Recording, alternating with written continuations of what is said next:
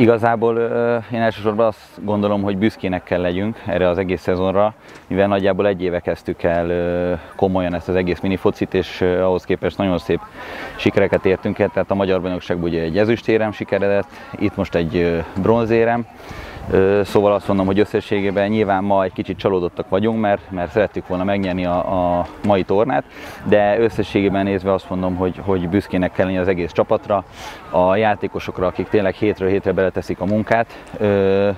Szóval csak azt tudom mondani, hogy, hogy ugyanezen az úton szeretnénk tovább menni, és legalább ilyen eredményeket elérni, de nyilván tudjuk, hogy még van hova fejlődni, tehát